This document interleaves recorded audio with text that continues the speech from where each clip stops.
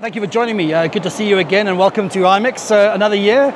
Um, can you give me any particular update on what's happening in DC at the moment? Anything uh, happening that we should know about? Yeah, absolutely. Happy to see you as well, Ian. Uh, good to always talk about uh, international travel, which is a good segue into what's happening in Washington. We're very fortunate uh, that we're seeing, like several cities, a uptick in travel since the pandemic, which is really good for us.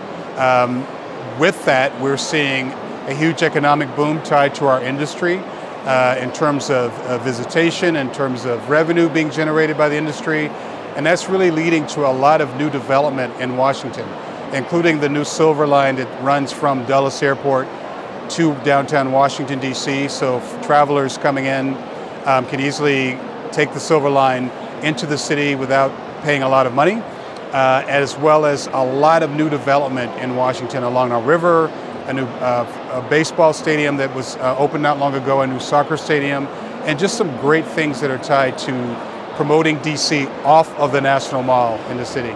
Classic. And, and how's the connectivity at the moment? Are you seeing a lot more airlines coming in as well? Yeah, absolutely. Um, one of the things that I'm really looking forward to is at Union Station, which is really the easiest way, especially from long haul travelers that might be looking at coming to Washington or flying into New York and including other destinations. Union Station is about to undergo a massive renovation and expansion, similar to what uh, New York has done with Moynihan Hall, which is really good.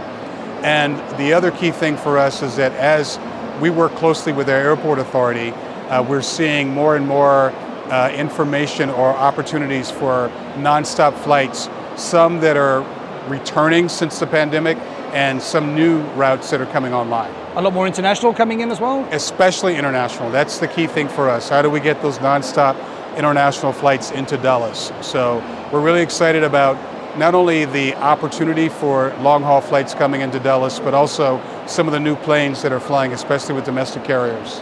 And are you seeing a particular trend in the type of events that are coming into DC as well? Are there particular economic sectors that are stronger than others? Well, the key thing for us is that we've always done well with the meetings market, so we're seeing a strong uptick in meetings coming back to the city, but we're also preparing for some global events like World Pride, which we'll be hosting in 2025.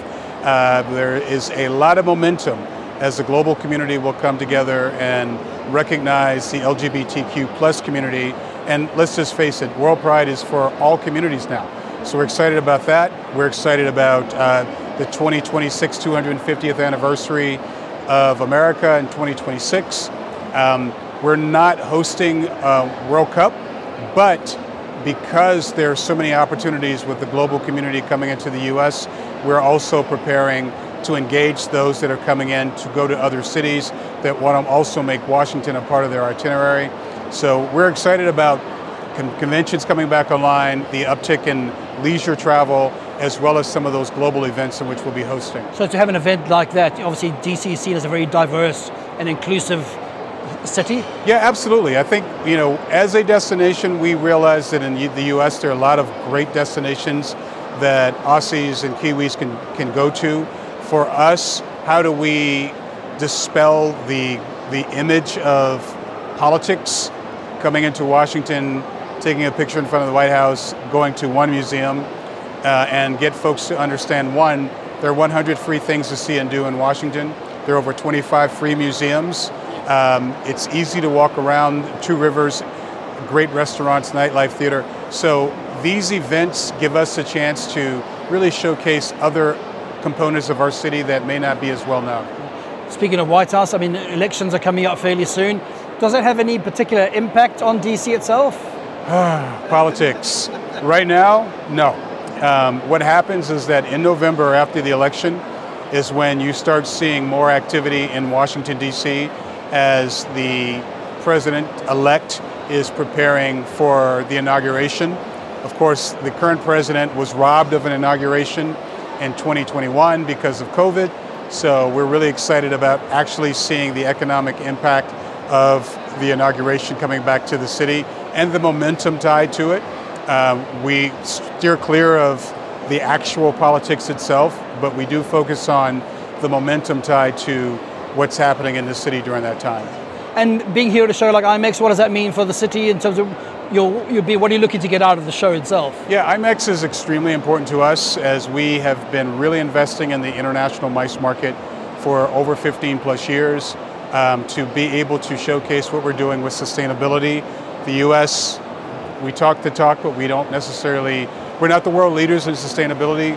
We're one of the uh, first uh, major destination marketing organizations in the US to have a position that solely focuses on sustainability.